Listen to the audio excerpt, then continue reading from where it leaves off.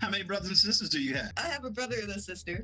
Okay, you're the oldest, middle. yeah, I'm the oldest. With your dad using you as the venting person, deep down inside, how does that make you feel as a young woman?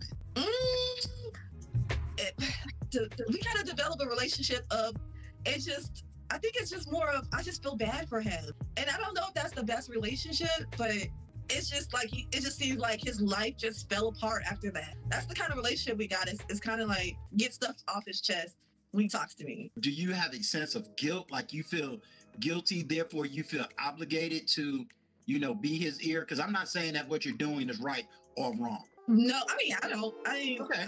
I mean, because I was a kid. I mean, there's nothing I could do. Right.